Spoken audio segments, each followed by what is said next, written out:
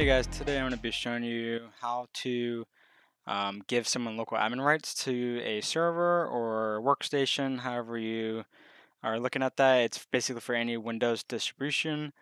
You can go to this PC, you can go to manage, but I mean that's one way to do it. Or you can open up server manager, go to tools, click on computer management, and then here we can go to users, and then we can add a user here. So there's one way you might not know, which I'm just going to go ahead and create a test user here. Close out, close out. Let's say you're on a workstation and you want to give someone local admin rights. You can do start, go to run, and then type in control user passwords 2. Hit OK. And then this will give you the full list of all the users on the um, machine and what groups they have. So I just created that new demo user here. And you can see it's just a user group.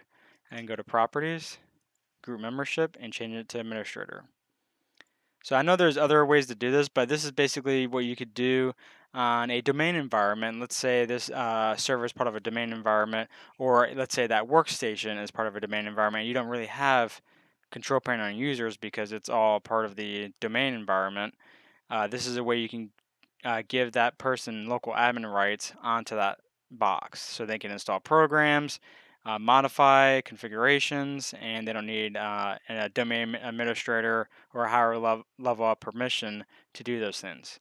So this is just another way, like I said, you just go to start, type in run, type in control space user passwords 2, and then hit OK. And like I said, this is mainly used um, for if I'm on a workstation and I'm part of a joined domain controller, then usually there's no control panel and users. You literally have to use this or go into that user management area to make someone a local um, admin. Now I know you can do this in command prompt as well, so there's another way. So this is like the fifth way.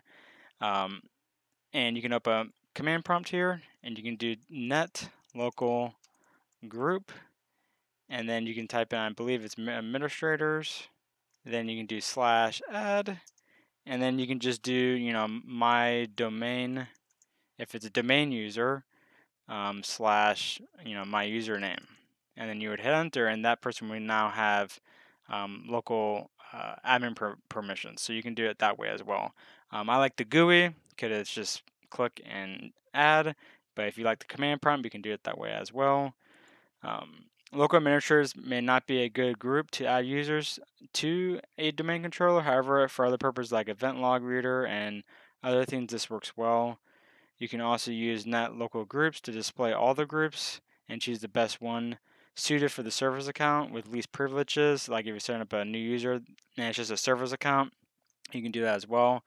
So you could just do um, net local group and you can see all the uh, groups that are on this domain or on the server, not domain. And that is how you add someone to the local administrator group on a workstation or a server.